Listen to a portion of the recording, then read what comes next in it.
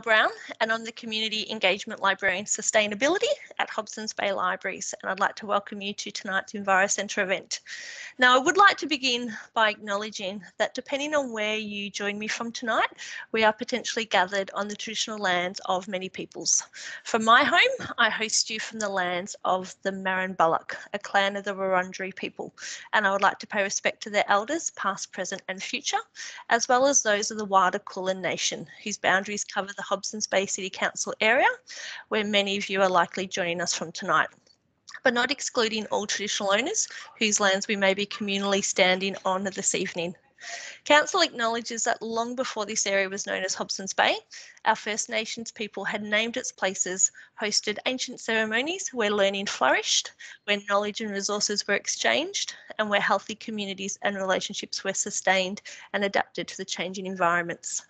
We recognise the unique role that diverse Aboriginal and Torres Strait Islanders peoples from many lands continue to play in the life of our We pay homage to that this evening, coming together to learn and to share, to sustain and to adapt.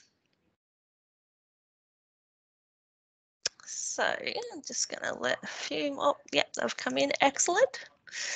So just tonight, as I've already said, we are going to be recording um, and we might take some snapshots of the audience as well. So if you don't want to be in any of these, uh, feel free to turn your cameras off. Otherwise, we'd love you to leave them on. Uh, we will be muting people so that there's no background noise. Uh, but when we get to the Q&A at the end, please feel free to unmute yourself. We will have time for Q&A at the end of the session. Uh, so what I would like you to do, if you've got a question halfway through. If you want to pop it in the chat, I'm going to keep track of those questions and then at the end uh, we'll come back. Um, and during tonight's session as well Katrina might say might stop at different sections and ask if there's any questions along the way as well. Um, if you would prefer not to ask your question yourself um, but you still want a quick question asked that's perfectly fine. Pop it in the chat and just say you'd rather me ask it for you and I can do that for you as well so this event is being brought to you today by Hobsons Bay Libraries and the Enviro Centre. Um, I would just like to give you a very quick update on what's going on with the library. Um, in line with State Government Roadmap for Reopening, announced last Sunday, the 6th of September, there are again changes to our library service.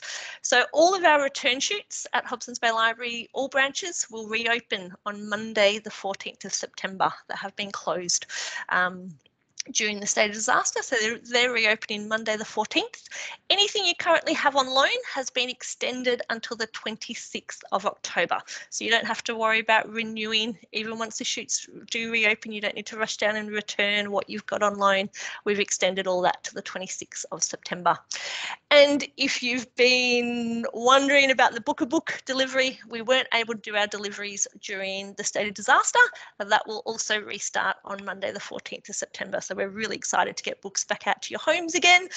Keep in mind, if you're going to do an order now, we do have a bit of a backlog from when we closed. Um, so just keep in mind that we will get them out to you as soon as we can. Um, but our book delivery has been really popular. So um, just be patient. We'll get them all out as soon as we can. But give us a call. Our phone lines are still being answered between 9 and 5 Monday to Friday.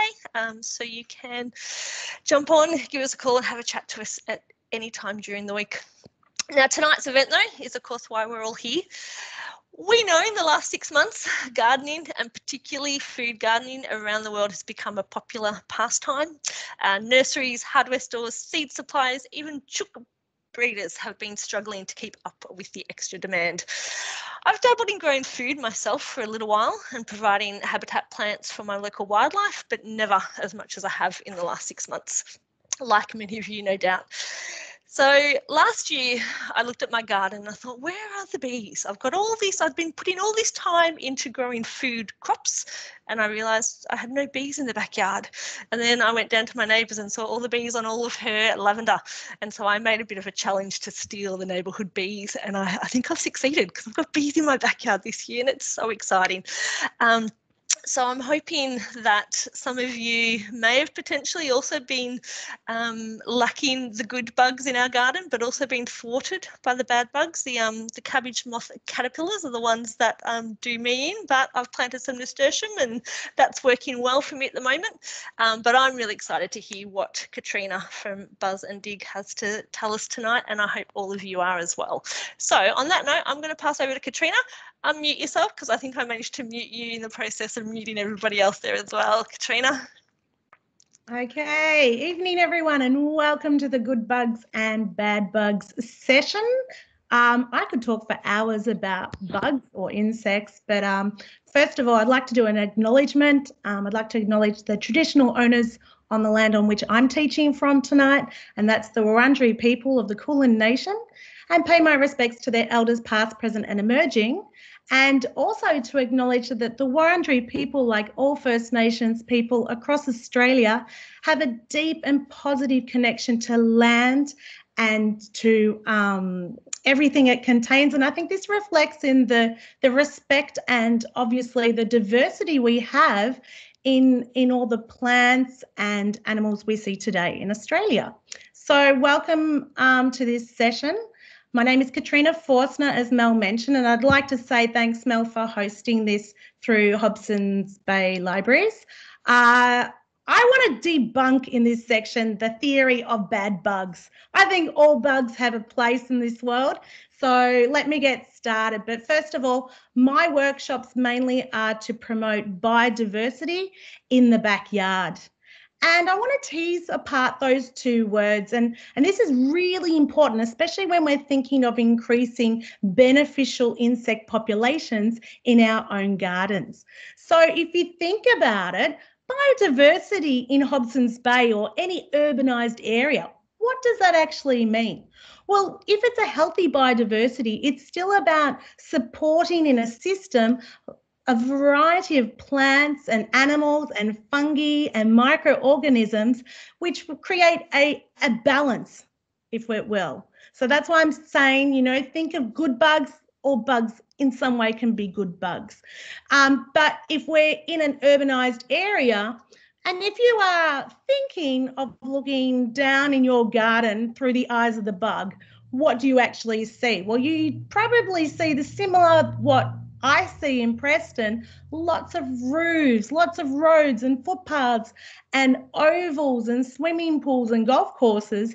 And all these areas um, for a lot of insects, especially our native pollinators, are not such great places in terms of habitat and places to find a reliable food source. We live in an urbanised area, but we can make a difference with local biodiversity. So I know um, in in your area, you have a lot of waterways. You have um, Cherry Creek, Kororoit Creek, you're uh, bounded by the Yarra River. Whilst all these waterways provide amazing corridors for um, biodiver- biodiversity in the area, and of course you've got wetlands and reserves. It's a if we think about the whole um, area, it's all fragmented. It's like grandma's quilt. We have patchworks of reserves and parklands, and these areas need to be connected together in the local neighbourhood. And your garden has a part to play. So when we think about backyard, for us, of course, we define it by boundary walls and fences of, of our property.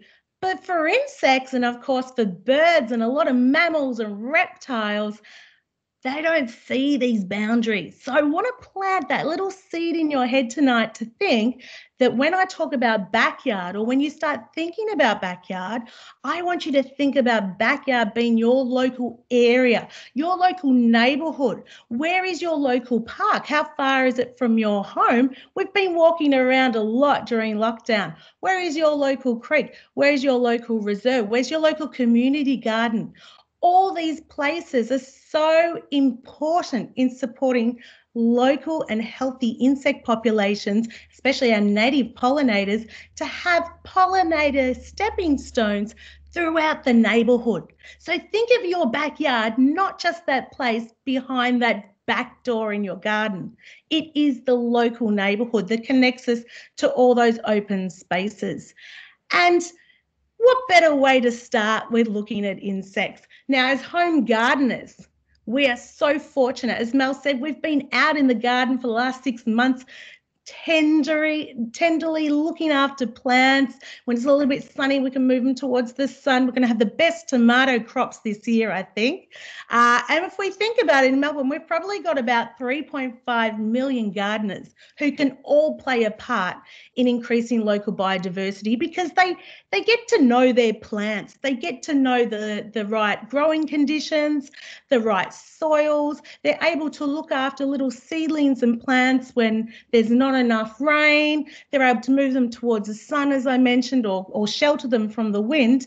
And we can all do this so much better than, say, maybe um, Vic parks or state parks, or even our council rangers and bush crew to look after tiny baby plants. And all us Melbourne gardeners, we are so passionate about gardening. Our thumbs are almost turning green, I think, after six months. But we can all play a part because we can support a lot of local endemic species that have grown traditionally on the grasslands and, and in salty marshes like salty marshes and they these are the plants that are suited for our native pollinators in our area. And this network of home gardens, um, like the parklands, like your local nursery, like your community garden, are so important in building up that critical biomass and, and helping all these little insects travel around the neighborhood. And just to give you an example, now, we know the honeybee that's probably been visiting your garden that you see at the moment.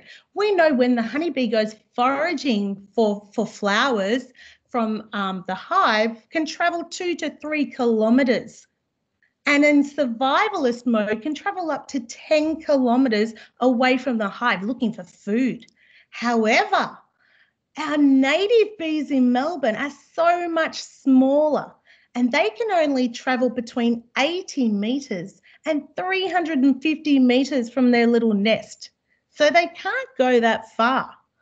So this is what we really got to hone in tonight that we got to look after our local insect populations. And, you know, I think bugs are great. I'm just going to show you one resource, and I hope I'm not in reverse on this, but this is a fantastic book to read during lockdown. It's by Anne Sverdrup Thygeson. I hope you've got it in the library. It's called The Extraordinary Insects. I highly recommend this book. I'm not an entomologist. I think this is perfectly written um, for anyone who's interested about insects because it's about the weird and the wonderful. It's about the indispensable insects of the world. These are the ones, she says, who run our world. And it is really true. We, I hope I can get you passionate about some insects. Really recommend this read. Hopefully, it's um, high on the reserves list for your for your book smell. Um, so what what's so great about these insects? Well, a lot of people call them bugs. I don't like using the word bugs because often bugs also people think of worms and snails, but they're not actually insects. Insects are defined by having six legs. Um, let's go into a few facts and figures about insects. So if I were to hold all of the human population on one hand, and I was to hold all the insect population on one hand around the world, which, if this were uh, a set of scales, which hand do you think would be heavier? The insects or the people? I can see some kids there discussing. It and a bear, yep. It's actually the insects. The insects would be heavier. There are more insects, to tell you the truth, per person, there's 1 billion insects per person. There's so many insects. It's a vast number of insects. 90% of all species in the world are insects. One out of five species named is a beetle.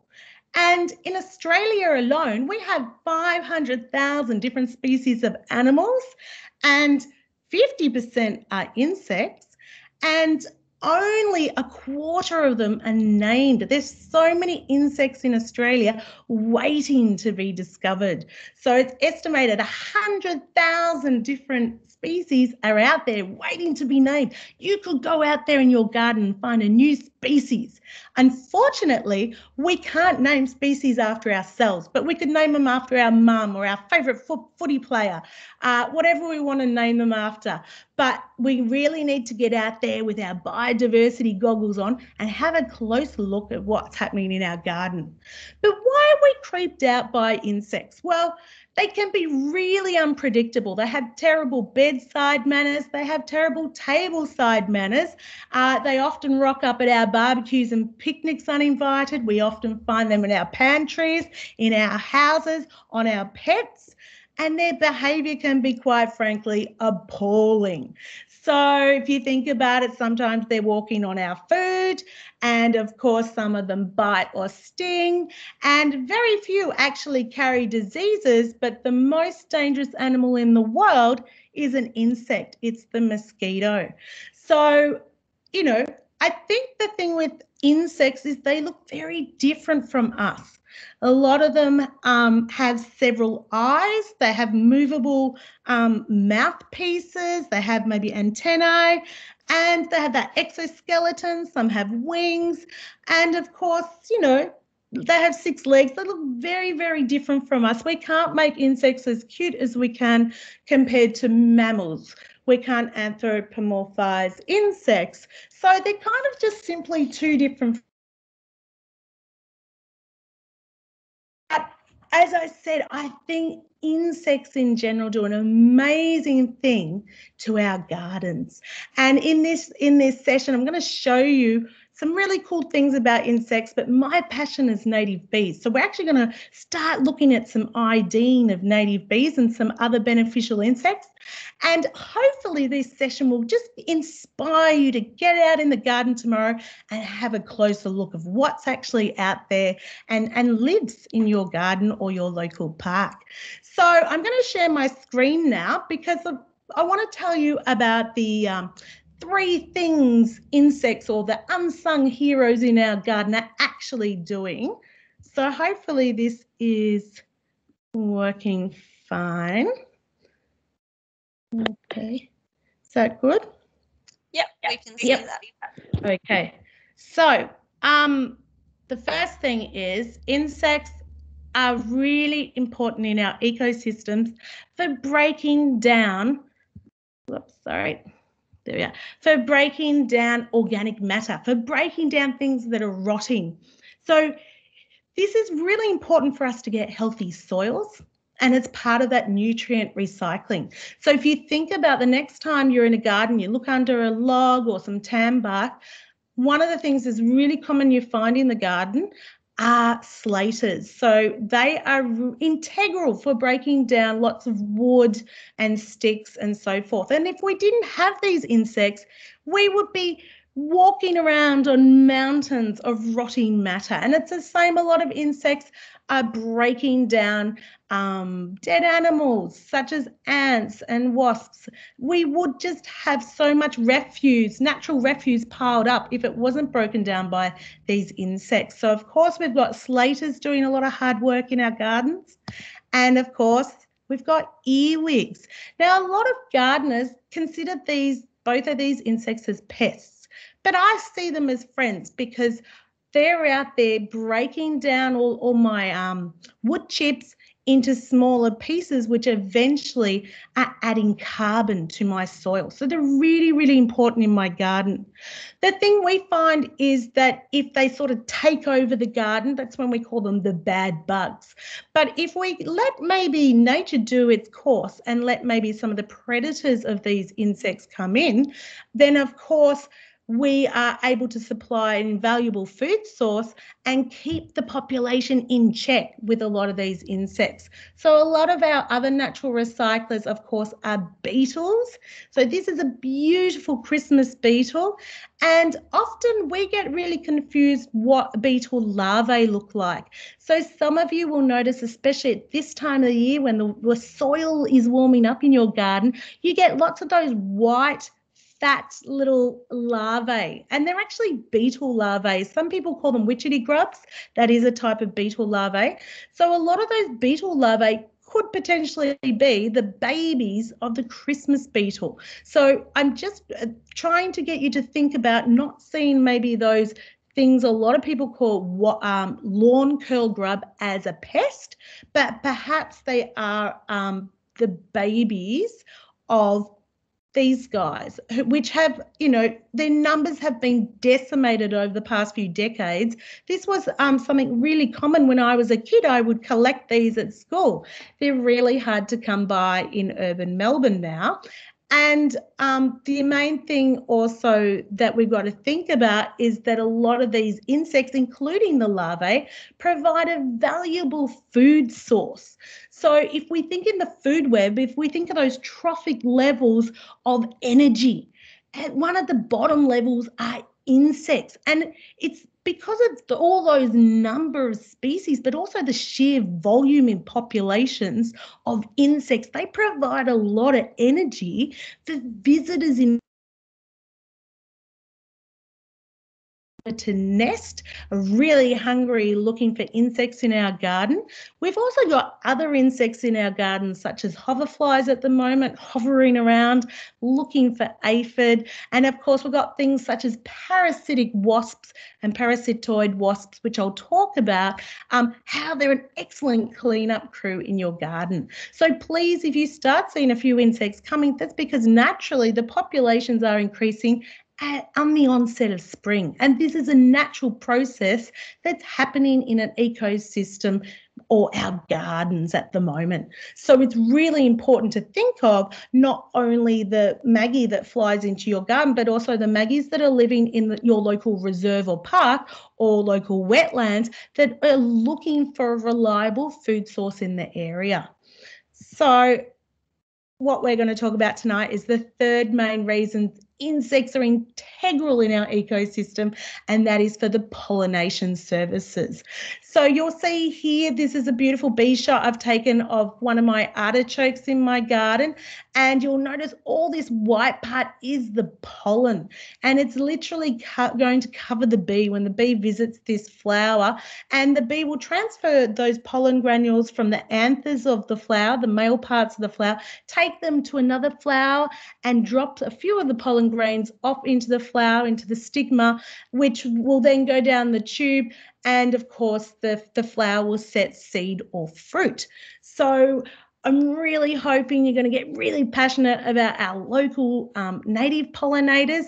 And I hope, as I said, I can debunk a few of those myths about things we call bad bugs. Um, beneficial insects are a really great sign that you have a healthy garden. Of course, if you're a passionate um, fruit and veggie grower like myself, you really want the pollinators to come and stay in your garden. So it's really important to think about creating safe gardening environment for local pollinators and not using pesticides or insecticides and just letting nature do its thing in your garden and observing nature. So, if you provide enough habitat for pollinators, then the other beneficial insects will come, but also you're, you're benefiting the local bird life, the frogs, reptiles, and of course, other creatures. That connectivity throughout Hobson's Bay. So, this session, as I said, we're going to talk about what is a native bee, how to identify a native bee, look at a native wasp, a hoverfly, a lacewing ladybird, praying mantis, look at food and habitat for bees, and of course, a little bit on biosecurity and how you can be an important citizen scientist over next month. It's so exciting uh, what's happening in November. But why should we care? Well, we should care because one in three bitefuls of food requires pollination. And we all eat. I eat, you eat, and we all grow veggies, hopefully. We're all intrinsically linked to pollinators. Around the world, there are 325,000 flowering plants and crops that depend on pollination. And pollination, as we know, can either be by wind, can be by bees, can be by birds and some mammals, uh, can be by moths. They're excellent pollinators and can even be by bats. But the m- most um, generalist and specific pollinator is actually the bee. This year, a few months ago, the British Geographical Society named the bee as the most important species in the world. And it's really important we think about this. The bee really, you know, we don't pay the bee any money to pollinate our food, but maybe we should look after the bees a bit better because the bees are under a lot of stress. So, if we think about it, it's not just bees that are pollinating our vegetables and fruits. There are some particular insects that have co-evolved with some um, of those fruits, and one one thing I'm thinking about is cacao, where we get our chocolate from. That's actually pollinated by a really tiny fly. So, one other example I wanted to tell you about is in the Northern Territory. We get a lot of our mangoes from now up in the Kimberley, is that there are not so many native pollinators local farmers of mangoes in the area, they actually encourage blowflies to be the, the local um, pollinator for those crops. Because if you think about it, a blowfly has quite a hairy bum bit, quite a hairy abdomen, and a lot of the pollen sticks to those hairs as the blowfly looks for nectar, sweet nectar between the mango flowers. So what the farmers do up there, they get out um, big 44 gallon drums, steel drums, and they put rotting meat in it, rotting carcasses, which attracts the, the blowflies to come, lay their maggots, and thus increase the blowfly population. There you go. You didn't think you're going to learn about blowflies tonight. But um, I was going to just say that um, Albert Einstein um, has said that if the bee disappeared off the surface of the globe, then mankind would only have four years left. I don't quite believe this because there are some crops we obviously eat every day that don't require insect population. The main ones being the grasses, such as wheat, rye, we've got um, rice, and of course things like corn, and interestingly, some fruits such as banana and pineapple. But I don't know about you. I'm not sure I can have a banana smoothie every day, nor can I have um, popcorn. But um, the whole food web or, or food as we know it for the whole ecosystem would be drastically changed if there were no bees. So what is this all about bees? Let's go back. What is a native bee? In Australia, we have an estimated 2,000 different species of native bees. Around the world, we have 20,000 different species of native bees. So we've got 10%, which is quite amazing. But if you think about all the different climatic zones, the different mountain ranges, the different environments where bees can survive in Australia, including the desert, the and the plants that have evolved with those bees, we do have a vast array and, and healthy ecosystems for so many different species of bees. And if we think about it, we're really lucky because in Europe or Northern Hemisphere, a lot of places say in the UK, they only have about 234 species of native bees. We're doing pretty well here, but we've got to start looking after them. And there's a lot of pressure on our native pollinators, such as the impacts we've seen with the bushfires of last year and beginning of this year, of course, with drought, and of course, with um, flash um, flooding and sporadic rain that has occurred from climate change. And of course, us in Hobson Bay and in Melbourne the increasing urbanisation, the increasing amount of roads and roof spaces and ovals and houses that are built with no gardens anymore, uh, are all um, impacting the habitat and, of course, a reliable food source for our native bees. So, where are these native bees coming from? Well, we have to go back about 120 million years ago. We have to go back before Tyrannosaurus rex, a long, long time ago. And what was back then was an ancestral wasp. And as we know, when we're having a barbecue, wasps love to eat meat. And they use the meat, meat being a protein. They take the meat back to their wasp nest and feed their young. They have meat for their babies. Uh, for the eggs. So they use meat as their main source, but they also um, get the sugary hit of nectar, which is often why we see them around. Maybe you've got a sweet drink or we see some wasps on our flowers. So back 120 million years ago, there was some sort of evolutionary push for maybe a food source. So what happened was this very first bee evolved, as did the first ants, which is kind of interesting because ants and bees are the only species in the insect world with those really complex um, social hierarchy systems. Uh, and we had the first bees evolve as the same time back 120 million years very simple flowers evolved. Before that we just had the ferns and the ginkgos and so forth and the pines and conifers so back then we we had the very first flowers appearing and in the middle of the flower of course we've got nectar and pollen. And pollen is that protein source for the bees. So adult bees don't eat pollen. They use the pollen for their babies so they'll take the pollen back to their nest. Adult bees just sip on nectar for their sugary energy hit. Okay so nectar being the carbohydrate. So back then there was that that push. So maybe some of those wasps which became bees you could kind of call they're having the protein from flowers as opposed from meat. So we know in Australia, as I said, we have almost 2,000 species of native bees. Uh, we also have a couple of introduced species. We have the um, Apis mellifera or honeybee, which came here in 1822.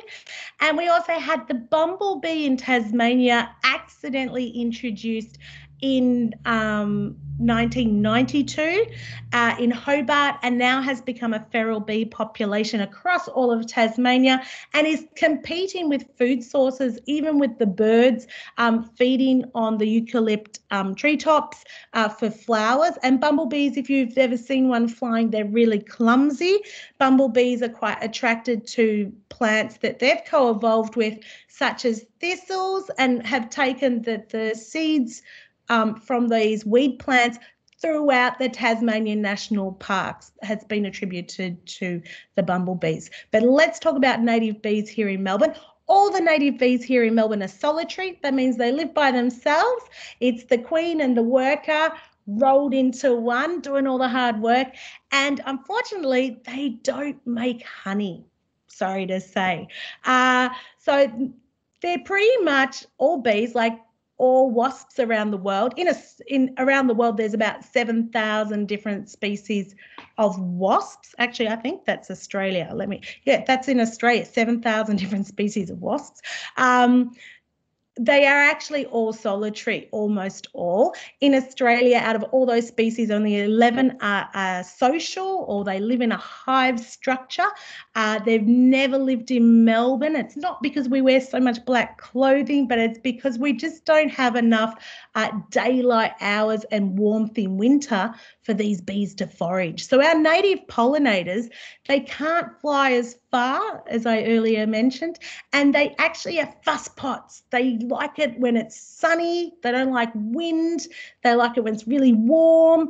They like it, the conditions to be perfect for them to go out and forage. They're just not as as strong and robust as the imported honeybee for, for going out in the garden.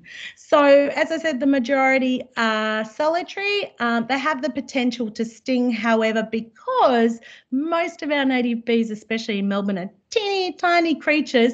If you look at your pinky nail, most of our native bees are the size of your nail. They're really small. They're much, much smaller than the honeybee. And if they were going to sting you, they can't actually penetrate through the skin um, through the epidermis layer. Uh, they could potentially sting repeatedly compared to a honeybee who um, she lo- loses her stinger uh, and thus dies.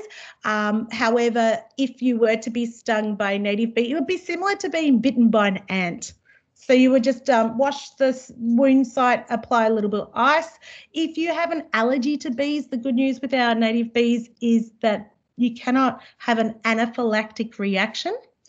And the other great thing about, well, not great thing, but the other thing to mention about our native bees is they're super shy creatures. And because they don't live in a hive, they haven't got that mentality like a honeybee to protect the queen. I've got to protect the queen. So let's move on.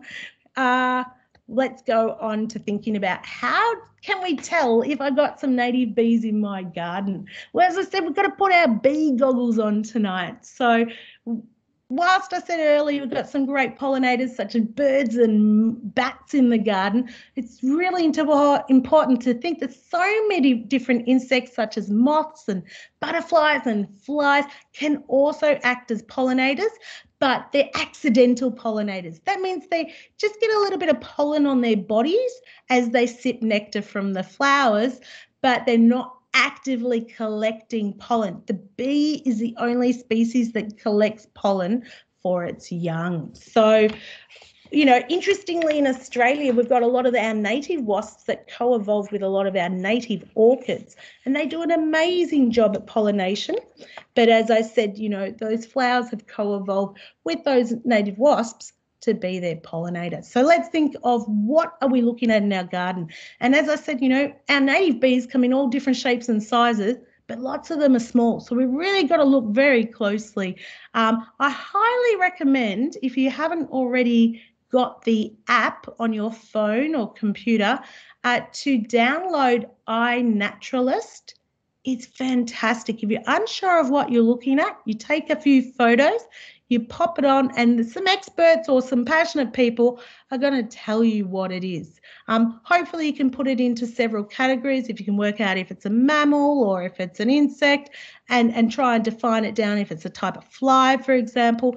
And then someone will come boom back at you with letting you know what it is because there's some amazing things happening in the garden. So, there's a couple of different features. Look, this is just my little plastic models I usually pass around to everyone. There's a couple of different features. On the left, you'll see is a bee. On the right is a fly. So we're looking at four different features tonight. How do we define what is a bee or a wasp as opposed to a fly type insect in our garden. So the first thing to look at are the antenna. And pay attention, I'm going to test you after this picture so I'm going to show you some confusing shots and I want you to work out if it's a bee or fly. So the first thing I want to tell you about this one is the antenna. Have a look at the bee antenna. The first thing you'll notice is they're really big and they actually come out like little bent coat hangers and we call them segmented antenna. You'll see some knobbly little bits on them. Whereas a fly usually has very short stubby antenna almost non existent on many fly species. Now, the other thing to really look for with the is how many wings. Well, to be honest, when you're looking at a flying creature, it's very hard to count the wings. But to let you know, the bee, as you can see, has four wings or two sets of wings, and the fly has one set. But when a fly rests on a flower, it's like a Boeing 47. It has its wings out in that triangle formation, whereas the bee is very ladylike and she folds her wings up behind her back.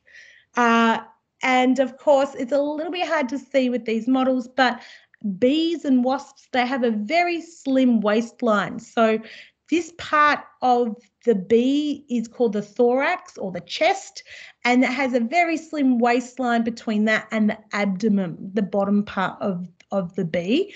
Whereas a fly between the thorax and the abdomen, it's very, very um, broad.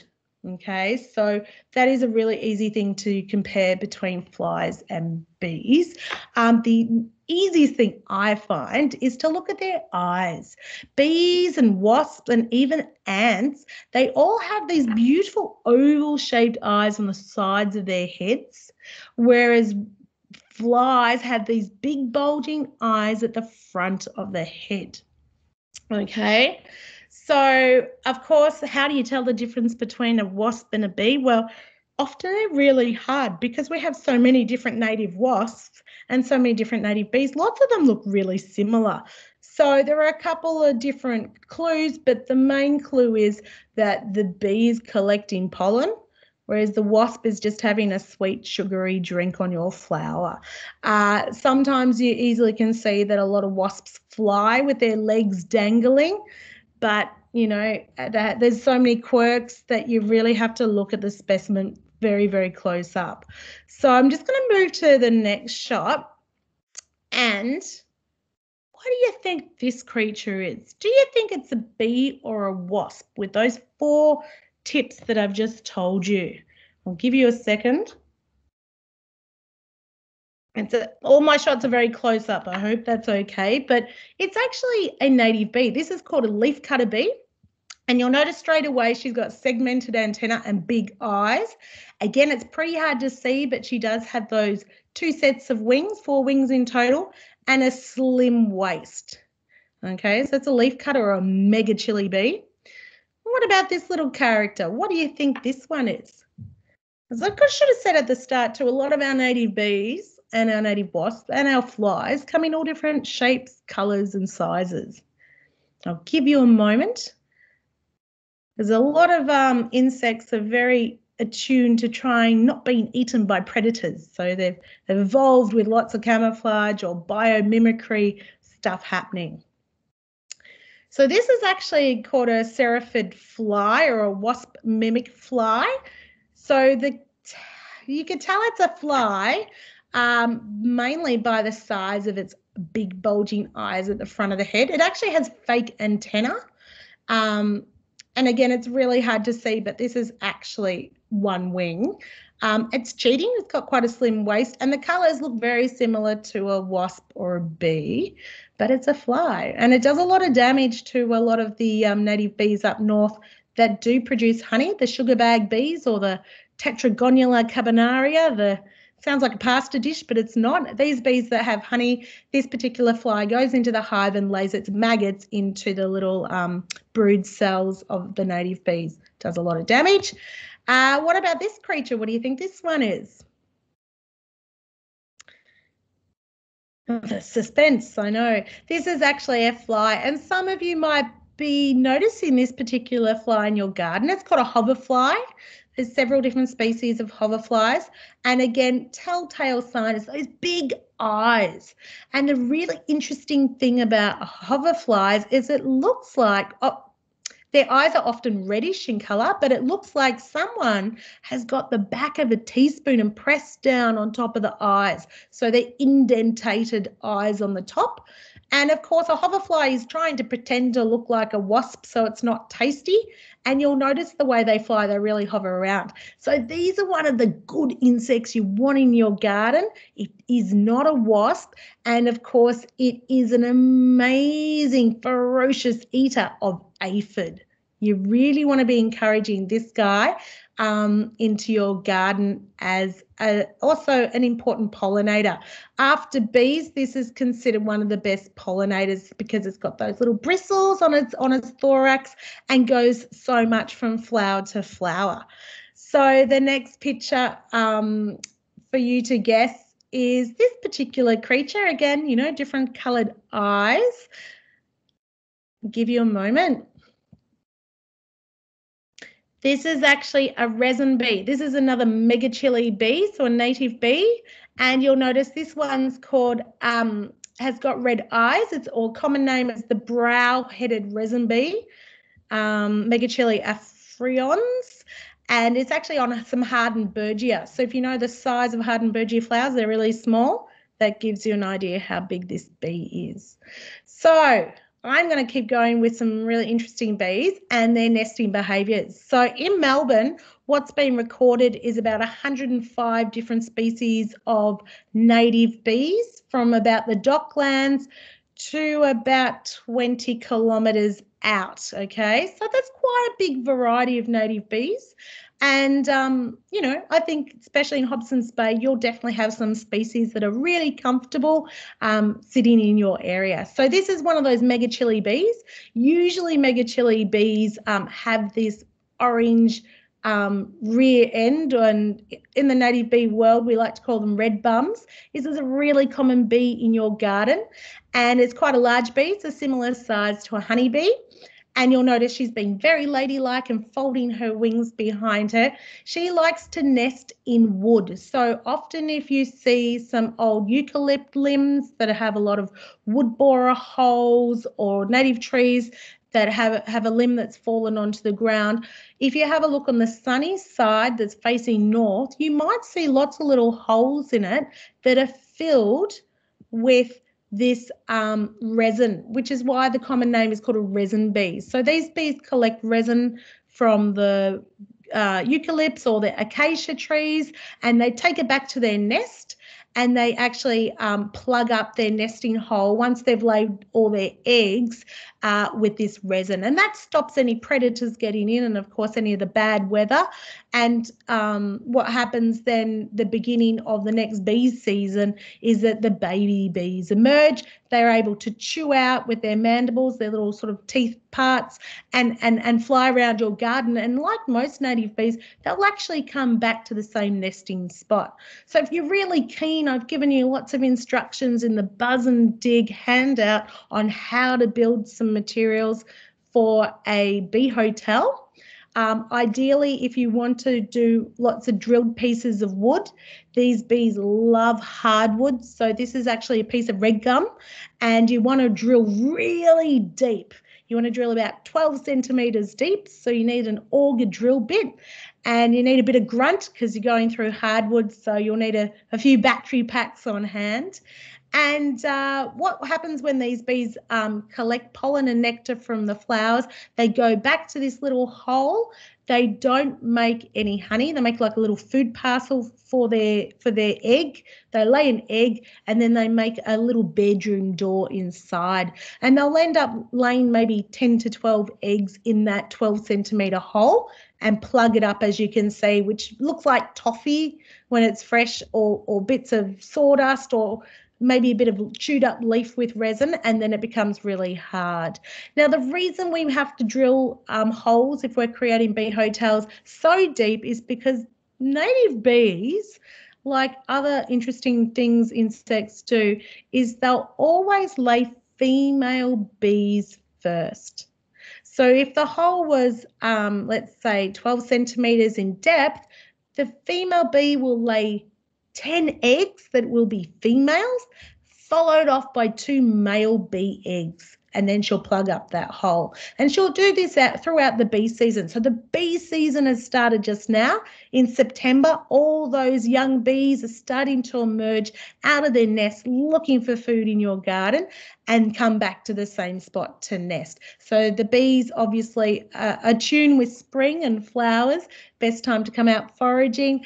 So all through spring and summer and of course autumn until the weather starts getting really cool, that's when the adult bees are going out there doing all their pollinating. Then adult bees die off and, and the bees over time develop over winter from a little egg into a larvae and then coming spring they become a young bee waiting to come out they eat the food reserve mum's left for them and then they'll come out into your garden.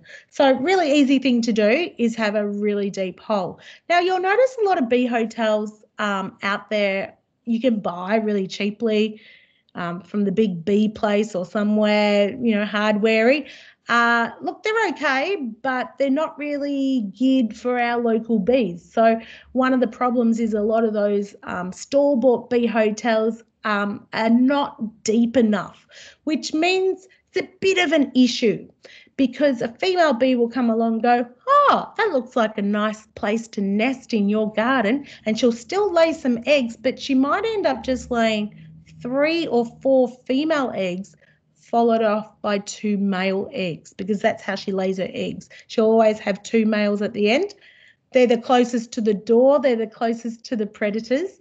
And if we think about it, who do you think's doing all the hard work in your garden? Who's going out there getting the pollen and nectar from the flowers and taking it back to the nest and maybe chewing with their little mandibles a nice hole and laying an egg and making a bedroom door and going out again? Which bee do you think's doing that? Is it the male bee or the female bee? That's right, it's the female bee. So we want to ensure because the female bees are doing all the pollination, that we have a good, healthy number of females in the population the following. We don't want to skew the gender ratio and cause problems in our garden. And that can happen if we have a lot of store bought bee hotels. Bee hotels are really easy to make with a lot of things probably already existing in your garden. So this is another example of a bee hotel. So if you've got any bits of wood you can just drill, have a go. Pop it in a box and pop it somewhere really sunny. So ideally facing north about eye height is, is really fantastic. So everyone in the family can see all your native bees coming in and out. And of course, near your veggies or fruit trees, perfect spot. Um, this is a really common bee that we will see in our gardens. This is actually called a reed bee, and this bee is really small. It's just a little bit bigger than a, an ant. It looks very ant-like, and you'll notice again, it's got those big antenna, eyes on the side of their head, and a reed bee actually has a sort of reddish abdomen. So they're kind of an easy bee to spot.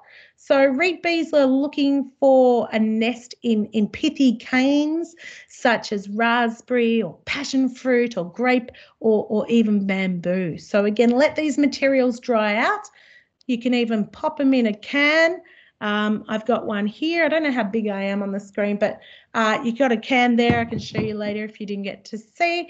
Uh, pop them somewhere, as I said, about eye height, and you can encourage a lot of these bees into your garden too.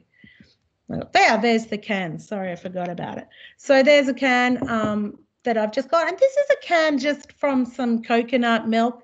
So if you're having a curry tonight or some pasta, save the can. They're amazing bee hotels. And just pop your dried materials in it. You'll notice in the middle I've even got some really small stems. Um, this is probably from my lemon verbena or holly um, buddleia or something and these reed bees love it. Okay, so really easy to make bee hotels yourself, make fantastic presents for people. And I've just covered my can with a little bit of um, melaleuca or paper bark to make it look pretty. So Another type of nesting behaviour is actually of the 70% of all species of native bees in Australia is actually ground nesting. They they burrow in in the soil and and lay their eggs the same way as I mentioned, uh, and just leave the entrance open. So one of our most popular or well-known ground dwellers is the blue banded bee. This is a blue banded bee, and the first thing you'll notice if you have blue banded bees in your garden is she makes a buzzing sound before you probably see her. She goes zzz, zzz, zzz. And she actually flies the same as a hoverfly. She zips around everywhere. And you'll notice here she's um, got her head deep in a salvia. And what she does once she's sipped all the nectar, she does this wonderful thing called buzz pollination. Now, buzz pollination is required by 8% of flowering plants around the world. And what she does, she holds on to the anthers of the plant with her little teeth, her mandibles, and she shakes, she vibrates at 350 times a second. And that particular flower then is able to expel the pollen. It vibrates out of the flower. And that's the only um, type of bee um, is a ground dwelling bee that, that does this buzz. So what's really interesting is that 8% of these flowering plants have, that require buzz pollination have actually evolved with buzz pollinators. And if we think about it, a lot of plants um, in our veggie patch have come from the New World and they've evolved with their own native pollinators. And a lot of native pollinators that buzz pollinate, say in the um, in other countries, are actually bumblebees. So they buzz pollinate. So we don't naturally have bumblebees in Australia. As I said, they're accidentally introduced in Tassie, but they're causing trouble. Uh, but we have these beautiful bees like blue banded bees. Uh, the buzz pollinate. So I just want to mention this little plant. This is a local endemic species of my area, the grasslands in, in northern Melbourne. This is a Dianella. Uh, this is called a common name, Dianella, um, the matted flax lily, or the botanical name is the Dianella amoena. So the Dianella amoena is a really interesting plant because it has co-evolved with a buzz pollinator. And you'll notice with this particular flower, like the anthers, the pollen's actually up the, the tube of the flower. So when the blue banded bee comes on, she can shake the, the pollen out of this flower. Now, I want to quickly tell you a story about this flower because it's really interesting. I hope you can buy it in your local nurseries. It has basically come back from the brink of extinction. In 2016, a local friends group, the Friends of the Merry Creek, found some of these Dianellas in, in a poor state along the creek and they set up a crowdfunding campaign and they raised lots and lots of money from the public and the the then DPI uh, was able to match it. They were able to collect all the rootstock and rhizomes and seeds of this Dianella, take it back to the Victorian Indigenous Nursery Co-op in Fairfield and create really robust tube stock from 42 parent plants. And then with the money they raised for this project, they were able to replant this Dianella along the Merry Creek at 350 metre intervals. And they planted it with a lot of other local flowering plant species. And the reason they planted at 350 metres is because the blue banded bee, that's as far as she can fly from her nest. So as I said at the start, compared to the honeybee, our native pollinators, they just can't fly very far. So they're really looking for food sources in the area. And now, because lots of um, awareness has happened about this Dianella amoena, especially with a lot of local governments. Uh, and you can actually now buy it in a lot of the local nurseries, which have a good um, Indigenous plant section, Dianella amoena. A M O E N A, in case anyone's writing it down. Uh, this plant is now considered rare status, which is amazing. I have about five of these planted in my garden. Wouldn't it be great if everyone on my neighbourhood block had this plant in the area? So again, as I said, the the most important species to pollinate this plant is the blue banded bee, a buzz pollinator. But of course, we grow lots of yummy vegetables in our garden, and, and part of those vegetables that require buzz pollination are things in our solanum family. So think about those juicy tomatoes, those capsicums, those eggplants, and those chilies, and blueberries all require buzz pollination. So it's really important to try and encourage blue band bees in your garden or any bee that lives in the ground. So lots of smaller bees also do this buzz pollination. Um, so, you know, one of the best things you can do now, this is something we all do in Melbourne and we try and do it very well, and that is put mulch everywhere. So here's some example from my garden. I've got a lot of pine bark on the paths and I've got a lot of pea straw or sugarcane mulch throughout the veggie beds. But these bees are so small, it's very hard for them to create a burrow through all this big organic debris. They can't, they're not attracted to this. The natural nesting sites for these bees is actually along the creeks or clay um, and sandy, loamy embankments um, that's how they nest because when they make a tunnel, they make one long tunnel and then they make side chambers to lay all their eggs. So the best thing you could do to create habitat for blue banded and nesting bees is to actually have a sunny area clear of mulch. Now you can might be able to have a lot of clay, sandy clay in your area. So if you're able to keep a sunny spot, maybe beside the house where kids aren't playing and dogs and bikes aren't going over, you might see lots of tiny little holes in that area. They look a little bit like an ant hole. Um, and it means blue banded bees are there. And it's really interesting because blue banded bees, despite being solitary, they actually like to nest with like minded neighbours.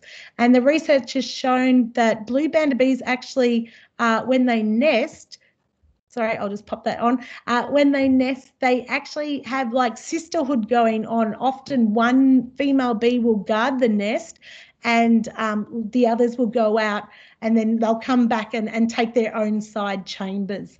And I forgot to mention at the start, I said female bees do all the hard work with pollinating our garden. You're probably wondering what the male bees are doing. Well, they are actually um, just hanging. male bees, they don't even bother collecting pollen, they just sip on nectar and they wait for the females to emerge from their nests uh, to mate with, so to make babies. So you'll notice here these are a lot of blue banded bee boys hanging out together at night. They are all holding on for dear life with their mandibles on some some grasses or anything that's sort of stringy and climbing, maybe like jasmine or some clematis, things like that, these bees are really attracted to. So if you do have native blue banded bees in your area, have a look around, um, especially dusk, to see if you see maybe 30 or 40 um, male blue banded bees coming in to roost for the night um, it'd be quite a sight to see. They all jostle for a good spot on the stem. And of course, they are susceptible to microbats and um, tawny frogmouths and other creatures out there that are looking for a nocturnal snack. Uh, of course, as I just mentioned before, have a go at making a bee hotel. Look around your garden for nice pithy stems to attract the reed bees. Use bits of old wood. Let it dry out before you drill the holes or have a go making some clay um, homes like we saw earlier. Excuse me. You can make a, a um, mud brick home for blue banded bees just using some PVC piping and lots of clay. Uh, look, it, it can take a couple of years. This particular spot is in a in a park reserve in Fawkner and has been very successful. Excuse me. Because the blue banded bees are already in the area. And just moving ahead. if you're building a bee hotel, have a go, as I said, building your own. Use whatever types of wood you like, as long as it's not painted with like lead paints or as composite particle board. Have a go at anything. You'll notice here I put in a few fillers. That's because um, a lot of the boxes get really heavy. and if you mount them up um, at eye height, you don't want them falling on someone's head. So a lot of my bee hotels, I even put on a table outside as long as it's facing north because our native bees are cold blooded creatures. They want to warm up for their first foraging trip in the morning and, and get lots of sun. So don't put them under a fruit tree, don't put them in the shade. Face as much sun as possible. So north to northeast is ideal. And ideally you want to place your bee hotel at a slight slope from the back. So imagine that the back of the box, uh, you just want to tilt slightly upwards so that the materials, like in this picture, look like they're on an angle and the bees can crawl upwards into the canes. Uh, and this is because the mama bees are really looking for a place where the uh, baby bees will be protected from any moisture. Like most insects, they nest on an incline. So even if I had this placed on a table, I just put a bamboo cane right at the back of the box to give it that 10 degree tilt. And I wanted to show you this picture because um, I've seen um, a picture of this particular bee. This is a domino spotted cuckoo bee. And I have seen a photo taken with the grass reserve under the Westgate Bridge, that some of you are probably familiar with, of this particular bee. So this cuckoo bee and her cousin, the neon cuckoo bee, are spectacular bees, uh, but they're also the cloak and dagger bees in the bee world, and they actually will lay their eggs inside a host bee nest, namely the blue banded bee, and their eggs will um, hatch first, eat the food reserves of the blue banded bee, and then they'll pupate, go into a little cocoon, and they'll emerge um, later on in the season when the weather warms up. Meanwhile, the, the baby blue banded bees, uh, they hatch and the, there's no food reserves for them. Exciting stuff, insects. So one of the last ones I want to show you, of course, is the vast array of our native bees. This one looks very similar to a honeybee. She's called a leaf cutter bee, and she actually collects the pollen on the underside of her abdomen. So she's full of pollen in this shot. And you'll notice these flowers are actually look quite large. They're actually basil flowers. So um, native bees, like other bees, and actually see flowers in different colors from what we do. So the example I've got here on the left is a jonquil, the yellow flower is how we see it. Native bees see in UV, they see in ultraviolet, which means they see um, a lot of the colors we see, but in more on the purples and blues on the spectrum and less so on the red colors. So whilst they see a yellow we see a yellow flower, they see the yellow flower in purple, and you'll notice in the middle of the flowers these green colors. The flower has evolved to be pollinated by an insect, and it has created what we call pollinator trackers or UV trackers, or looks almost like a pretty pattern to excite the bee to come and visit. And what researchers have recently found is that over time, uh, some flowers are able to change their trackers to let the bees know they've been pollinated and are about to set seed or fruit. So it's a really interesting relationship between our favorite flowers where they love the purples and blues followed off by yellows, whites, and pinks. That's the top five colours. But some other flowers um, have evolved with lots of UV trackers. But in general, blues and purples are their preferred flowers. And what I have a lot in my garden, especially at this time of the year, just before the native bees are coming out, is lots and lots of flowers near my veggies. So you can see here I've got calendula, so lots of daisy flowers are fantastic. Borage is another fantastic flower, the blue one there. We can eat the flowers and they have nectar, which is great for the honeybees as well, and other insects such as butterflies and hoverflies, because each flower fills up with nectar every three minutes.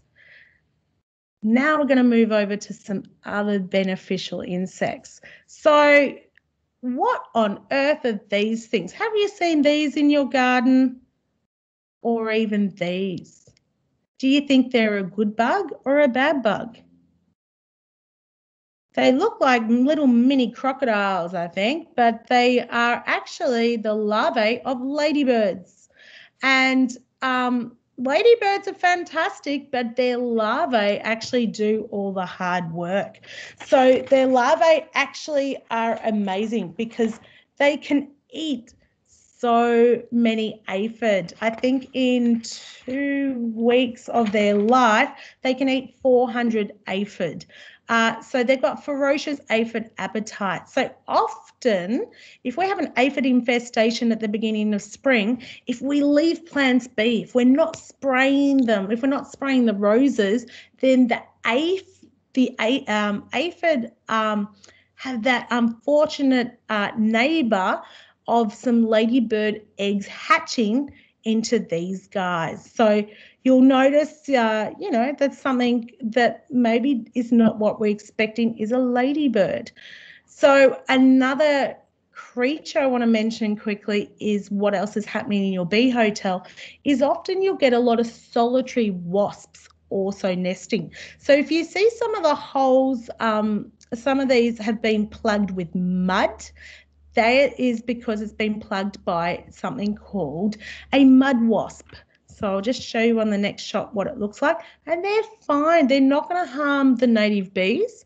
But what they are doing, this is the mud wasp from my garden, is they're actually collecting lots of little caterpillars and aphids and other insects we normally perceive as a, a, pest and taking it back to their nesting hole and, and laying their egg um, in it and and that's um, over time that egg will um, evolve uh, become a, a, baby wasp which will eat that insect uh, as, as its food source. So they're really great and should be encouraged in our garden to have lots of native wasps. They won't harm us um, you know, they're not like the European wasp, which we need to get on top of to keep their populations low because they are an introduced species. But our native wasps, yeah, they're, they're a really integral part of a healthy ecosystem. And of course, important as part of local biodiversity. Now, another wasp you might have seen in your garden and you're not sure what is, these are quite large. Uh, they're about, I think, three centimeters long is the blue flower wasp. So wasps, um, like adult bees, they just sip nectar from the flowers for their energy source. So these are really interesting wasps because this is a male that you see. Any of these creatures you see flying here are male. They often fly low to the ground and they have these beautiful shiny wings. The female lives underground. And they have a beautiful courting ritual where the male will pick the female up from the ground, take her to a flower so she can sip nectar and they will mate and then he drops her back down to the ground and she will find one of those beetle larvae and um, will lay her eggs inside the beetle larvae. And again it, it's an important food source for that particular um, the the babies of that particular wasp. So it's really interesting because the female only gets to sip nectar once from a flower, um, but the boy's out there looking for females and getting to sip lots of nectar from flowers. So the um, other unsung hero, of course, I mentioned earlier, is the hoverfly, and like the ladybird, the hoverfly has um, pretending to be a bee because she's this particular hoverfly has got the wings folded on some brassica flowers, but again is an essential pollinator and a ferocious appetite of those aphids. So we've really got to start looking and seeing these unsung heroes as integral and reflective of good, healthy biodiversity in our backyard. So we don't need to use our sprays and we need to have those conversations with our neighbours not to use the sprays. This is my little picture of the ladybird. Sorry, my pictures are not in the right order. I just realized. Um, and of course, you know, we want to encourage ladybirds, but there's a reason why we want to encourage them because their larvae forms are the eaters of a lot of smaller sap sucking pests. Um, oh, there we go. I've got doubled up on them. There we are. So we're back to those baby ladybirds. I'll just keep going. Here's another really interesting creature you want to be encouraging in your gardens. Uh, it's called a lacewing. And one of the things it took me many years to actually realize what these are. On the underside of some plant leaves, you'll notice these tiny hairs, and on each hair is actually a lacewing egg. And these are really great predators in the garden. So this is the adult lacewing, and it's called a lacewing obviously because its wings are see-through and it is is an amazing creature to have in your garden because it's eating a lot of those soft um, sap sucking pests such as aphids, but also thrip and scale and whitefly and some mites. So this is a really interesting creature also to have in your garden. And I've given you a link if you're very keen on, on having um, an addition of beneficial insects, you can actually order these eggs from a reputable beneficial insect breeder. So I've given you a link. You can get ladybird eggs, you can get lacewing eggs, and I think you can get uh, something else. So it's, it's, escaped me for the moment. But here's obviously the, the big praying um, mantis. Oh, sorry, the, the lacewing can eat 60 aphid an hour. Pretty good, hey? So uh, the praying mantis is a fantastic creature to have. And what I noticed because my garden's now ready for native bees, I'm getting a lot more praying mantis on the population's increasing of these predatory insects. And these are great insects because they'll eat anything. They'll eat moths, they'll eat spiders, they'll eat flies, they will eat bees they'll eat lots and lots of creatures. So again, you you're providing the right environment in your garden, uh, for some predatory creatures. And in its turn, as part of the food web, other creatures eating these. So I've got now in my garden lots of marble geckos, and they quite like eating praying mantises. And of course, um, you know, the birds, and if you have fortunate, some small reptiles will also like eating them.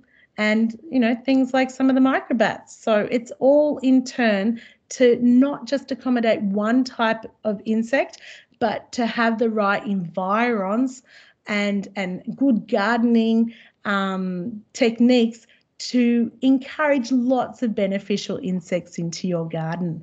So, one of the easiest things to do is have lots and lots of flowers, not only for food but also for habitat. And I'm sorry this picture's a little bit distorted, but it's really just to show you how much you can pack in a small space.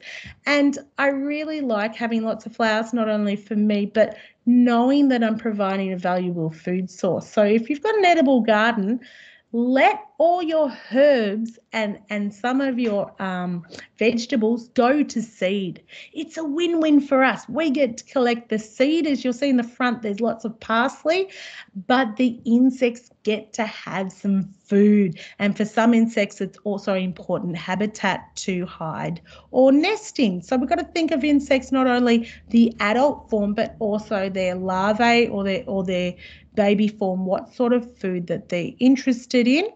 And of course, uh, most insects, our native pollinators, will always choose native local plants. So this is a Wahlenbergia communis. So if you have a little space to plant some local endemic species, go and chat to your great nursery people and go and buy these. These are fantastic plants that everyone should have in the garden because we want to make sure that not only we're having healthy insect populations, but also ensuring that we are able to support, support local plant species that have been adapted to our harsh environment in Melbourne.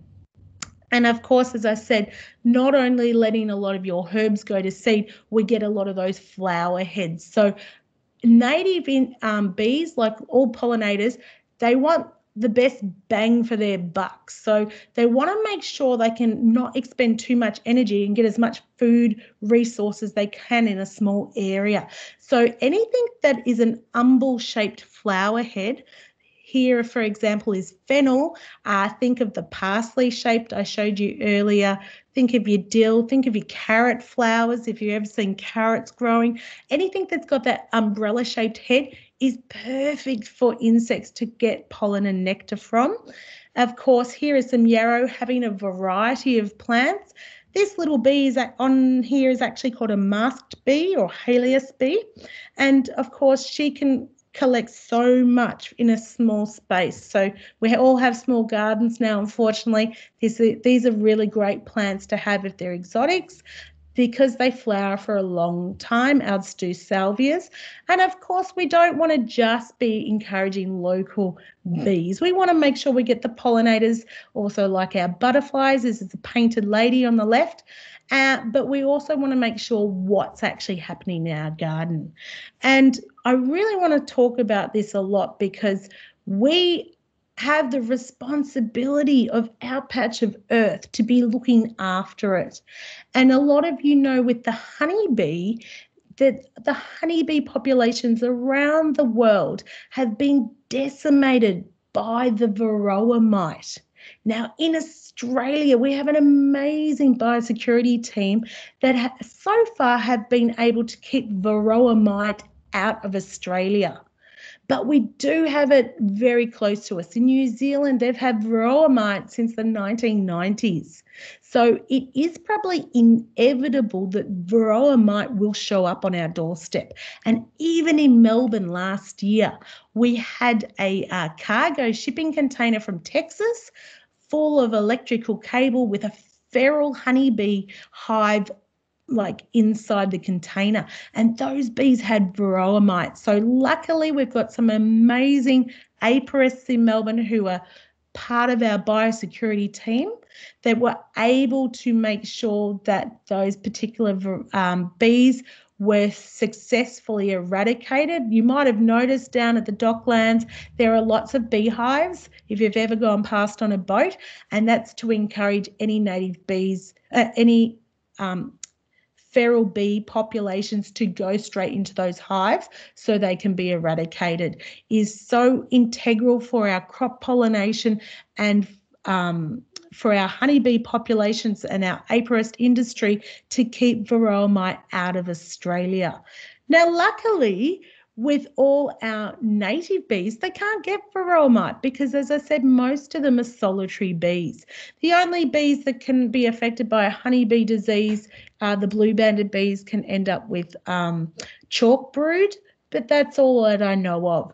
However, since I've been looking in my garden, observing what's happening, I've been noticing a lot of different insects, and I wanted to show you this video of the bee, which I thought, oh, this is a really cool native bee doing something that is unusual in behavior. And this bee is actually taking off the hairs of the leaves of this plant. And you'll notice while this bee is doing that, it's like, oh, this is really interesting. This is not what our native bees do. And I've realized that this is actually an accidentally introduced African carder bee. So this bee was first spotted in Brisbane in 2000, and it's taken um, 15 years to get down to Melbourne. And last year was the first time I noticed it in my garden. Now, whilst we don't know too much about this bee, we know it's not affecting our native bee populations. What we're aware of, though, with biosecurity is how fast a, an introduced species can spread. And this is really important because we're able to sort of track how far this bee is able to travel. And often it is traveling on a lot of our um, our trucks going interstate and and that's how it's from human actions that a lot of these um, introduced species are able to move. So there is a biosecurity or citizen scientist project. If you do spot an African carder bee, you're able to pop it into um, a site and they're able to record it. And if you can let them know what particular plant it is carding, it's taking all those hairs off for its nest. It ends up like a big cotton wool nest and lays its eggs in that. Again, you know, it's just being aware of what's happening in your garden. So let's move further ado. This is the exciting thing that's happening next month. Next month is um, Australian Pollinator Week in November. So not next month, in November on the uh, 8th to the 15th of November. It goes for a week where you can be a citizen scientist. You can watch some flowers in your garden for 10 minutes and record all the pollinators that land on those flowers. So I've given you a link. Um, you can see me filling out the, the pollinator tally sheet. It's a great thing to do with kids. And you'll notice next shot, I've got another video just showing one of my bee hotels. And I just show you, this is what you'll see common in summer, summer is a bit of activity going in and out all day long um, with native bees. So I hope that that's inspired you a little bit uh, to look a bit closer with some beneficial insect goggles on and see what's really happening amongst your flowers and veggies in the garden and to encourage more bees, the best thing we can do, obviously, is to plant more flowers. And of course, you know, as back to that biosecurity, the reason why I'm on about let's be um, responsible for our, our gardens and, and looking at what insects are in our gardens is because another um, species that's causing a lot of problems now in Victoria is the Queensland fruit fly. Now, I'm not going to go into too much detail about it because I don't I have not seen it yet in my garden, but I know other local gardeners have. But it's something you're to discuss with your council, Hobsons Bay Council, City Council, to see what measures you can do to prevent um, fruit Queensland fruit fly in your garden. Uh, obviously, for our commercial crops, this is a really serious uh, thing that we've tried to keep out for many decades, but with trucks and, and with people's movements interstate. So this is my garden in summer. As you notice, it's full of flowers. I have a lot of veggie beds to the left and right of this. I have a lot of activity with insects, humming, and I love being in my garden. I love just hanging out in our garden. And I think that's what we sometimes forget. But definitely during the six, last six months for myself, I've really enjoyed having a space where I can sit with a cuppa, talk to members of my family, or just be, read a book, pat a cat, whatever. It, it, gardens are so important for us to have. And your garden might be just on your balcony with lots of pot plants. Make sure you've got some flowering plants. Our bees, when they go out foraging, they go for three to five foraging trips a day and they're looking for three different types of flowers. They don't see this as a smorgasbord, they're very specific on each trip when they go out. So they're only looking for three different flower types max on each trip. Uh, ideally, it'd be lovely to have the same type of flowers, you know, for acres throughout the neighbourhood, but we don't. And you know, that's a great thing if you're local beekeeper. You will see the different shades of pollen when you take out a comb of honey uh, from the season if your hive hasn't been moved around. So this is me, my garden. Of course, the main thing I love supporting local biodiversity has been so I can enjoy the garden, but also that I get a great array of fruit and vegetables from my garden. And knowing that they have been pollinated by a lot of native pollinators makes me so excited. So I'm going to just stop here because I know there's going to be lots and lots of questions in our last few minutes. Please, I'm Buzz and Dig. I'm Katrina Forstner. If you're interested and you've got any questions or photos of insects, send them my way or download the app iNaturalist. Follow me on Facebook or Instagram. Send me beautiful pictures of your garden. I would love, love to see them. So, how do I? Am I out? No, I'm not out. Where's me? Where am I back to stop sharing? So just just before, before the, sorry, just left of the three dots. Can everyone see me? Yep, cool. Thanks. Excellent. yep, we've got you back, Katrina. Thank you. So all the questions that were asked in the chat have all been answered, but just in case those people who asked them in the chat didn't see the question, we might just quickly go back over them. Um, so Diane asked about how many native types of bees we have in Victoria. Yeah, so in Victoria, I'm not really sure of the numbers, but in Melbourne, I know what's been recorded by Melbourne Museum is 105 species. And despite us living in an urban area, they've actually found there are more um, species of native bees as opposed to a lot of farming areas because if you think about it a lot of our farming is monoculture farming so the bees are unable to have a reliable food source throughout that um, season unless there's pockets of bush um, nearby. So if you have hectares and hectares of canola, it's very hard for native bees to have an adequate food source because once those flowers have finished flowering, there's nothing for the native bees. So often with those sort of areas, and especially now what's happening is a lot of apiarists have to move their honeybees into those crops uh, just so they're um, flowering and being pollinated for a couple of weeks, and then the, the apiarists move those beehives out again. I will try and find that out though. I'm intrigued. Um, Alana, did you want to unmute yourself to ask your question? Oh yes. So um, hello. Thank you for your um, session. It was very helpful. Um, um, I have gall wasps. So, and um, I've been using the yellow sticky tape this year and um, trying to talk to my neighbors to cut the gall wasps out of her lemon tree, but it was a rental next door, so she doesn't really care.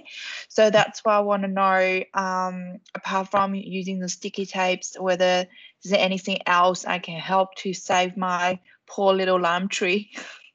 Thank uh, you. Yeah, sure. So lime tree, they love lime trees because limes are a little bit softer and sappier um, out of all the citrus. And and and gall wasps are um, native pests for our native limes. So that's where they've come from. Uh, look, there's a couple of different um, theories what to do. So a lot of people believe you should prune all the galls that you see before June. So before the next population of insects emerge from those galls and dispose of it in your landfill bin, um, bag it up. Uh, others, I've read that you can paint the galls with like a lime based paint solution, or what you're doing yourself is using those sticky um, traps. The only issue with a lot of those sticky traps I have, and it depends on um, how big your sticky traps are, is if they're quite uh, wide tapes. A lot of our native birds, the really small birds, such as um, our fairy wrens or our scrub wrens, um, can actually get their wings stuck on the tape and and I've mm. seen some pretty icky pictures of it. But I think because you're in an urbanized area, you probably haven't got that many um, birds that are used to understory plants. Uh, but just bear in mind how you're hanging them and what sort of other insects are sticking to them. But look, there's yeah. a few different approaches. So one of them you can look up is your uh, Save Our Citrus campaign, which okay. is run by someone called Kay. All right, cool. Thank you. Thank you for that, Alana. And Diane just put in the chat um, peeling off with a veggie peeler, and that's one that I've seen um, used a little bit as well. I guess, you know, talking about the ecosystem, are there any predators of the gall wasp that we could be trying to attract into our garden to prey upon the gall wasp? Uh, well, look, I think a lot of those predatory um, insects I mentioned, I know gall wasps are very small, so they're actually really hard for us to see them, like sort of out and about. Um, I don't know too much about them when they do emerge, apart from myself. I usually prune hard, but I have seen recently that peeling of the gall is meant to help. But I sort of prune hard um, my citrus, and again, trying to have those conversations with your neighbours, even if it's a rental. Go across with your secateurs, get them to make you a cup of tea when when the restrictions lift, and, and just prune their tree. Like, why not? Uh, give it a hard prune as well. Offer to do it yourself is probably yeah. a good way to get it to happen. Um, Liz, would you like to unmute yourself to ask your question? Sure. Hi. Um, I've heard that it's good to provide water for bees, um, but there is a danger of a bee drowning if you don't set it up correctly. So it'd be great to learn um, how to best do that. And um, I guess I wanted to know too if all pollinated, pollinators need water or is it just bees?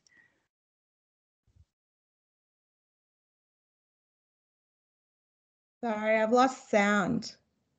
Uh, Katrina, can you hear me? Yep, can you hear me? Yes. So what was the end of the question? Sorry, all pollinators need water. Was that it? Yes. So um, I know that I've heard the bees need water, but do all pollinators need water? And, and what's the safest way to provide um, water for our bees? Okay. So interestingly, native bees actually don't drink water. Even when they collect nectar, they often um, like blow bubbles like chewing gum and concentrate the nectar. So they're sort of releasing a lot of the water uh, because they get enough liquid from nectar. So our native bees actually don't need water sources, but I, I agree with you. I think you need to put water out, especially for the honeybees. So ideally, if you've got a saucer um, and you put some um, pebbles and definitely some sticks across it. So a little bit submerged and a little bit so they can crawl out. Uh, it's really great for honeybees because honeybees use water to regulate the, their um, temperatures in their hives in summer. And of course, a lot of other insects do enjoy having a drink. So as long as you've got an area, um, yeah, that's a little bit in partial shade, is really important. Not and just regularly um, topping up the water source.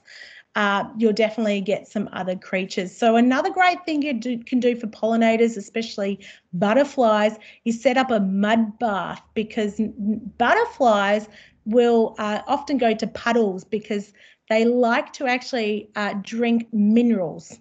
So that's really important for butterflies. So if you're able to get a bit of a mud pie happening in the backyard, uh, make sure again you've got some sticks sort of going in and out of the, the saucer or pot, uh, but maybe you might get some uh, butterflies having a sip of moisture from that. Mm, that Fabulous, thank like you. Uh, thank you for that question, Liz. Um, Anna, would you like to unmute to ask your question? Hello, I'm the one with the bear, but I've got two profiles. Uh, do you want to hang on? We can hear you, Anna. Hang on, Anna, I'll mute you from my end if I can find you. Hang on, Anna. Oh, it won't let me unmute you. Sorry, we've got a couple of screens going on. That's why there was the issue. Um, what if, we've got an edible garden, but what would be the top three flowers you would recommend for your pollinators? Okay, so thanks for the question, Anna, because um, I've actually given you a handout which lists a lot of the flowers I would recommend. So ideally to have a mix of flowers for local pollinators. So, um, you know, lots of pollinators come in different shapes and sizes and are also attracted to different flowers. So ideally having a mix of some native flowers somewhere in your garden is fantastic. Uh, of, of course, letting all your herbs go to flower. Uh, I really find blue banded bees love my basil flowers and having a lot of flowers that flower for a long time and provide either a lot of pollen or nectar or both. Some flowers have a, a really high ratio of pollen, uh, such as poppies, and of course uh, that artichoke I showed earlier. Uh, so my my flowers that work really well in my garden are flowers I can get for free. So I go around my neighbourhood with my pair of secateurs in my bag, and I and I often find stuff over the fence. Now, if I can find the person to have a bit of a chat, but I think if it's hanging out, it's anyone's. Great plants that are so easy to propagate and are fantastic for our pollinators are salvias. So they're, they're called Mexican sages. So they're part of the mint family. So they are really great because they're fantastic in Melbourne. They're very, um, once they're established, they're very drought hardy and they have beautiful flowers and you can get them in all different colours. Uh, I again anything in purples and blues. So if you're looking at natives, you can look at things like um, well, uh, Westringia, um, the the bluebells I showed you, the tufted bluebells, the Wahlenbergia, Hardenbergia is really great. Uh, anything that has different shaped flowers, so some that are tubular, some that open like the daisies. In Australia, we have the most daisy species in the world. And that's because we've got a lot of native pollinators that love sitting on a daisy. In fact, inside the daisy, all those yellow bits are tiny little individual flowers. So just thinking again also of those umbel shaped flower heads where the bees or our butterflies get a lot of um, energy and, and food from a small area. And of course, you know, if you ever are growing some good carrots, I know you guys got sandy soil, uh, let a carrot go to flower. They have amazing flower heads, and all the beneficial insects just love feasting on the nectar on those guys. Um, and of course, yeah, try and try and chat to your local community garden. They're pretty savvy, and and just try and you know what I love to do. I don't like giving neighbours bunches of flowers. I give them a plant from my garden.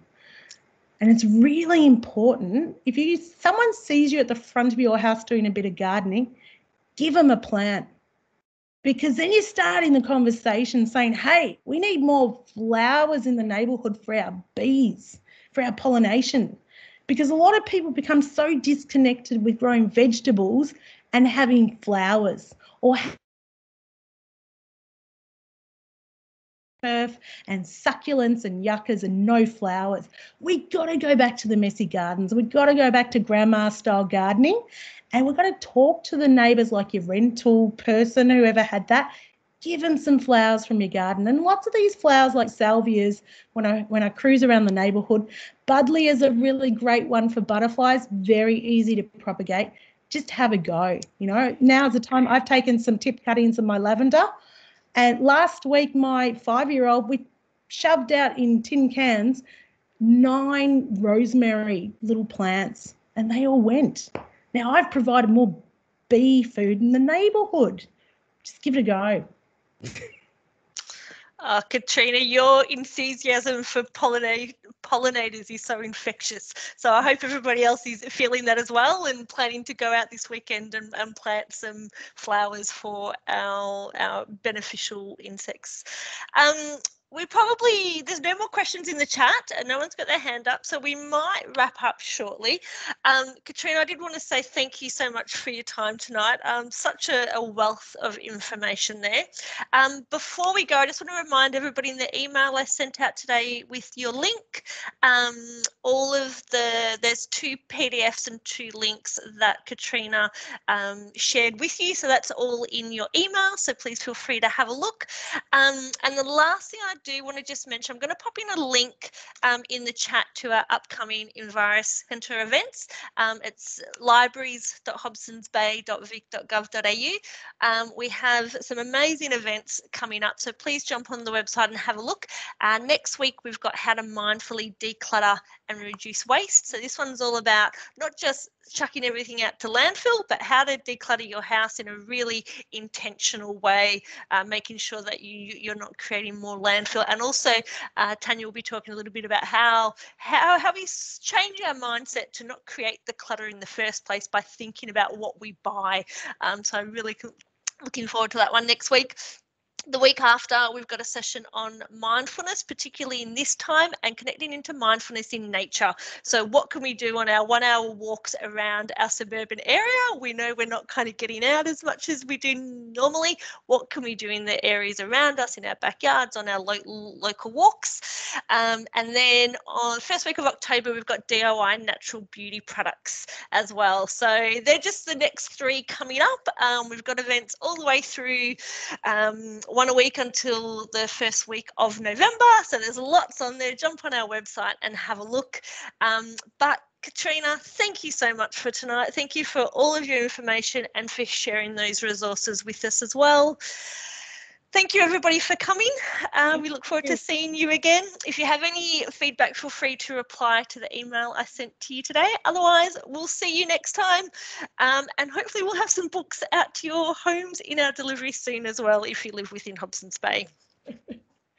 and I popped some links to our to that book in the chat as well to our catalogue. We do have that one in our collection, and I popped some links to some of our other um, books in the link as well. I shared my favourite insect book, um, and I can't remember what it's called now, despite it being my favourite. It is um, the little things that run the city: thirty amazing insects um, from Melbourne, and that was made by Melbourne Museum. It's a really great, great little that one. So thank you very much. We'll see you next time and um, stay safe out there, guys. Thank Bye. you. Bye.